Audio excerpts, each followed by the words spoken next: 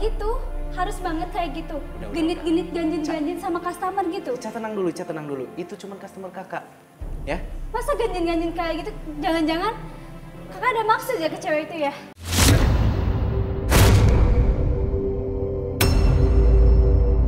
Jadi nih dikit lagi, dikit, dikit lagi. Sutut kena kan?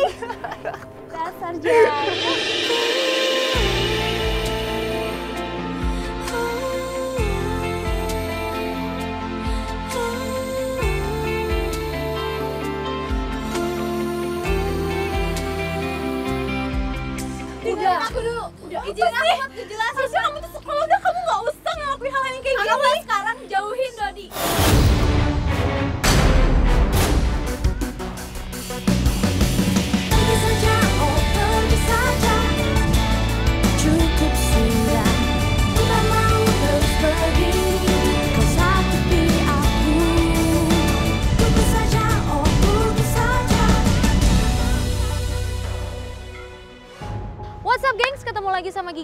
Katakan Putus dan sekarang kita udah ada di kota Bandung. Kenapa kita jauh-jauh datang ke Bandung? Karena dia ngelapor sama tim KP, katanya dia merasa curiga banget sama adik kandungnya sendiri.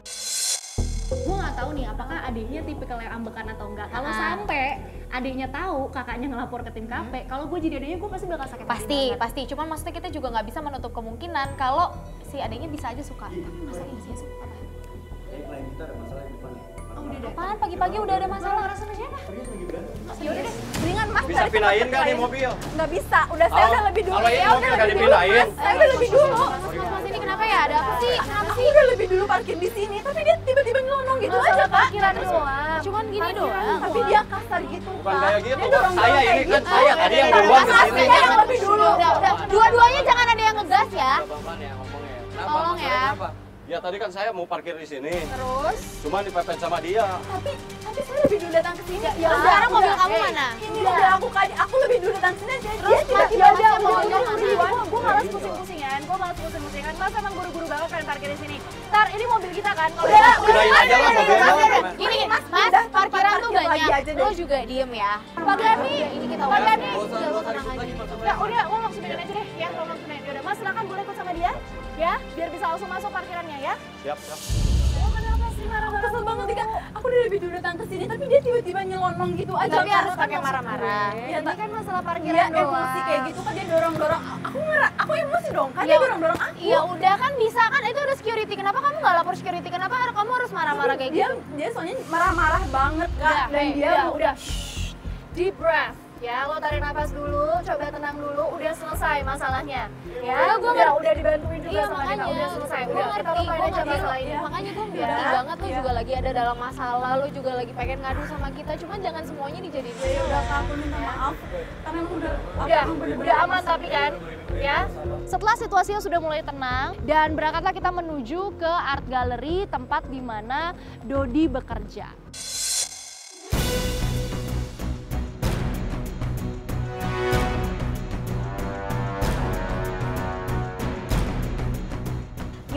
WhatsApp si ade lo belum? Udah. Iya, coba seenggaknya lo tanya baik-baik. Tanyain aja Isang dia pulang sekolah ke mana. Nggak aku usah terang-terangan. Pasti dia ada di Iya. petugasnya Tapi kan kita masih belum punya Lo lagi dalam kondisi jealous banget, gue ngerti. Jadi jangan ngambil keputusan kalau lagi kondisi Udah kayak gini. WA, Kak. Udah, udah WA. Oke. Ya udah. Eh, sebelumnya gue mau nanya, lo udah pernah ngomongin ini belum sama si Ica soal lo nggak suka kalau dia deket-deket sama Dodi? aku bingung kak karena Ica tuh adik aku kak jadi aku bingung mau harus ngomong kayak gimana sama Ica Loh itu yang salah karena kalau kalau gue lihat ya sekarang tuh lo kayak masalah ini udah kelamaan dipendem Hmm. sampai ini udah mencapai puncaknya banget. Iya, Dan karena harusnya seharusnya kalian bisa ngomong loh. Iya, seharusnya puncaknya ini bisa diredam dengan cara apa? Dengan cara lo ngomong langsung ke dia. Justru karena dia adik lo, harusnya lebih mudah buat kalian ngobrol. Bener. Apa? susah cara nyampeinnya kak karena dia Kenapa adik malu aku atau kan. gimana? Atau gengsi? Lo gengsi ya pasti ya? enggak ya aku susah aja ngomongnya Lo tinggal bilang gini sama dia, lo tinggal bilang bahwa Ca, sorry banget nih, bisa nggak kamu agak jaga jarak sedikit sama Dodi? Ya kalau emang lo mau terang-terangan ngomong gitu ya. Ica tuh, Tapi kalau emang lo pengen ngomong sama dia, pesan gue sih jangan pernah lo pakai kata-kata lo naksir ya sama Dodi. Iya, Jangan, iya. karena itu sama aja kayak lo ngejudge dia dan Ica gak enak rasanya. Malah nyuruh aku sama Dodi itu jangan berhubungan lagi gimana? Ini, Ini gue gua baru dengar. tahu, Iya, gue iya, baru gua dengar. Iya, tahu. gimana? Ica, Ica tuh ngomong kalau misalnya udah deh kak, kakak udah nggak usah berhubungan lagi sama Dodi. Tapi kalau kayak gini agak aneh ya, maksudnya kan lo menggambarkan situasinya Ica ini deket banget sama Iya, Dodi. iya, tapi Kok kalau dia malah bilang Dodi cowok yang gak baik, kayak dia nusuk Dodi di belakang. Nah, tapi bisa jadi dia masuk kakaknya sendiri. Ya, Nah itu dia maksud gue. Kayaknya itu sih caranya Ica biar dia bisa deket sama Dodi. Ya makanya aku minta banget gitu loh, kamu masih lebih dewasa dari dia. Jangan temperamen, jangan terlalu banyak nuduh, kita cari aja buktinya. Sampai akhirnya pada saat itu kita udah nyampe di tempat kerjanya si Dodi. Eh, kita minta sama timnya kita untuk bawa kamera masuk ke dalam tokonya si Dodi ini. Guys, gue minta gambar di tab dong. Ini bisa dicari nggak si Icanya juga ada di dalam atau enggak? Dodinya juga ada di dalam atau enggak? Ih, ini kayaknya nggak mungkin deh kalau kita masuk ke dalam. Ini tempatnya ketutup banget. Tapi ini emang hari kerjanya dia. Iya, lo yakin dia ada di Iya, kantor kan? Ada kan ada di kantor. Ya udah kita coba pantau. Eh, Gue sebentar. belum dapat minta Bluetooth. minta audio dong. Iya, iya, minta Bluetooth. Pasti bohong. Nih gue dapat, gue dapat, gue dapat. Gimana? Gimana gimana? Nah, ini cam langsung send, langsung send, langsung send, langsung send ke, langsung konekin ke eh, wifi gue. Oke. Oke oke. Itu cowok lo. Audio gengs, audio gengs, audio gengs. Nah, gimana? Lucu ya ini. Tapi lu suka? Gue suka banget ini. Benar. Bener, soalnya mirip kamu. Lu paling bisa ya, Ca, paling bisa. Bener lah, Dod. Terus ini kalau lu jadi bener ngambil ya, Ya. gue janji bakal ngasih sesuatu yang lebih bagus buat lu. Masa sih? Kau sok banget nih. Salah satunya lu kalau mau lihat nih. Ini juga ini spesial aku bikin buat kamu. Oh iya? Siapa sih kok deket banget ya? Makanya, dan lo merhatiin gak sih cara dia ngomong sama Dodi tuh Iya, kayak iya, iya. caper-caper Ih, emang cewek-cewek flirting gitu. Kak. Iya, cuman maksudnya cowok lu juga lihat deh, cowok lu juga ngedeketin loh. Yang namanya Dodi seorang sales ya pasti kayak gitu kan. Oh dia kerjanya sales. Iya, dia Tapi sales emang cara gitu, untuk ngejual produk harus dengan Harus akrab pegang-pegangan gitu ya. Ya mungkin karena emang Dodi orangnya ramah kan kak. Eh, Oke deh kalau kalau mau memang jadi ngambil, kapan-kapan kamu nanti boleh kabarin aku lagi, kamu telepon aku, kita janjian atau di mana? Eh, bentar deh. Hari ini aku belum update bareng kamu. Oh ya boleh boleh. Kamu punya Instagram kan? Iya kan? Oke, yuk. Sambil promosiin kan? Oke. Ini lucu banget. Ya, jangan di sini dong. Sama dong kayak gue jadi. Iya kan sama ya, udah gak apa-apa lah. Yuk.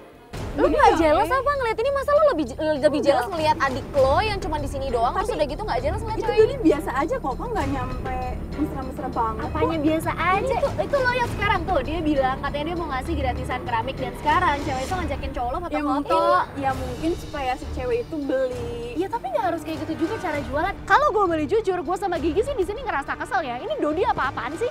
Dia kan udah punya pacar. Kenapa dia sedekat ini sama perempuan lain? Oh iya, aku ada acara lagi nih, buru-buru. Aku Loh, pulang duluan ya. Bentar sekarang. banget. Iya, soalnya ini ada temen nih udah nunggu. Serius, cuman bentar banget. Iya, maaf ya, ntar Oke, tunggu tunggu tunggu. lagi ya. Tunggu tunggu, aku punya sesuatu buat kamu ya. Oke deh. Tunggu bentar.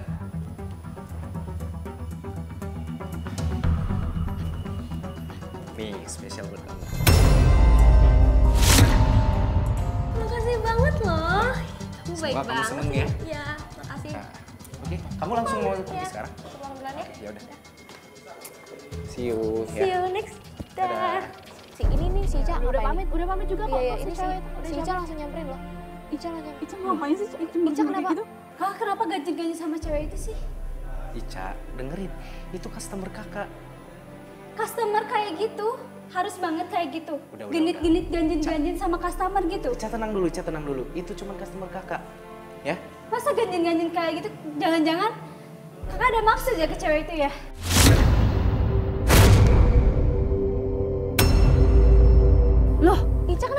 Marah-marah sih?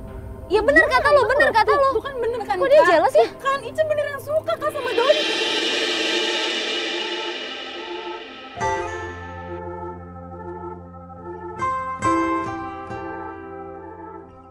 Dia marah karena dia merasa dicuekin selama Dodi tadi berinteraksi dengan customernya. Loh kok gitu ya?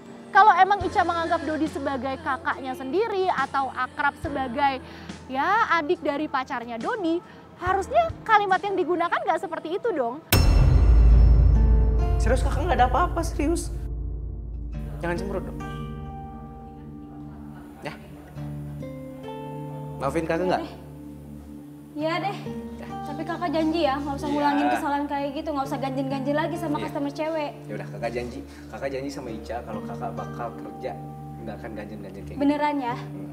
Ya, Ya udah. ya udah sekarang jangan cemberut lagi dong. Pada nyatanya yang tak terjawab mampu menjatuhkan. Ya udah, eh, kakak kebetulan ini lagi bikin keramik. Kalau Ica mau, kita bikin keramik bareng.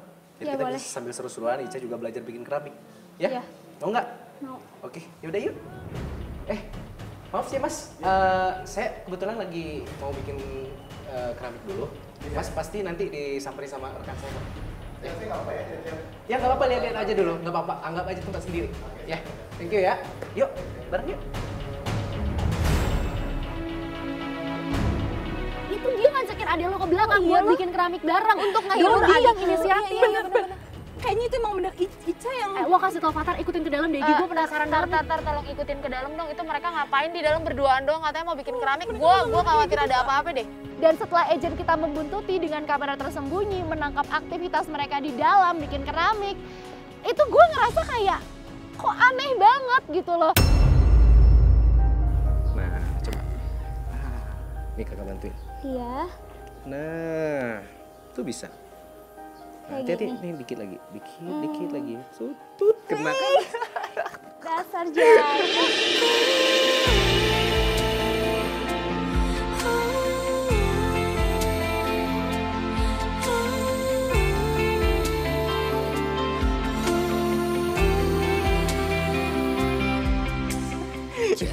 Kalau kita terusin, kita Kayaknya akan beres loh. susah banget. Iya. Tapi kamu seneng nggak bikin keramik? Seneng banget. Senang, bener?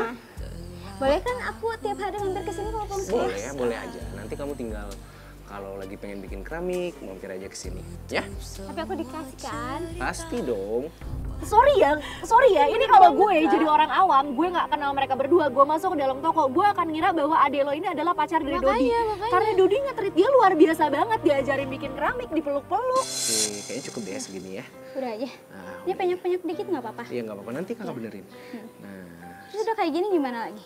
ya kalau kalau udah kayak gini, kakak baru uh, ngejemur dulu selama empat harian, terus Empat hari. uh, setelah itu baru kakak open selama 8 jam lah. Lama banget. Iya, karena kan prosesnya memang lama. Oh gitu, iya. Nah, sekarang kamu pulang, ya? Ya, yaudah deh aku pulang dulu ya. Mm-mm. Yuk, up. Ya, aduh deh. Up, hati-hati, hati-hati, Ih, hati-hati, hati-hati. Hati-hati, Iya, pelan-pelan. Up, yo, yuk. Ade lo pamit. aku aku harus aku harus keluar. Enggak, enggak, enggak, Tunggu, tunggu, enggak. Kita ikutin aja, kita ikutin aja. Dia bilang dia mau pulang kok. Gimana kalau kita coba cari tempat yang lebih enak buat ngomong sama Iya, Lo juga jangan di sini. Eh, Jangan di sini, jangan di sini. enggak, enggak, enggak. Jangan kita ikutin aja. Hei, hei, Oh percaya sama kita. Apa, apa? Dia keluar situ. Tutup, tutup, tutup, tutup, tutup. Keluarga aku mau enggak, enggak, enggak, enggak, enggak. Please dengerin, please dengerin, please dengerin. Meskipun awalnya dia ngotot mau turun langsung, mau mau ngomong sama adiknya di art gallery supaya pacarnya bisa lihat juga secara langsung, tapi gue sama Gigi menahan karena menurut kita itu bukan cara yang ideal. Eh, Cing, Cing, ikutin si Icanya, ikutin si Icanya. Kak, aku harus ngomong sama Ica, Kak. Enggak, enggak, enggak. Aku harus Kamu turun, nanti kalau ketemu lagi sama Ica di rumah ya, mau ke mana? Ini mobil lagi jalan. Di situ mobil kita masih jalan pelan-pelan, dia udah ngotot mau turun. Bahkan dia berusaha untuk membebaskan diri dari pertahanan gue dan Gigi untuk buka pintu mobil, loncat turun dan langsung nyamperin adiknya.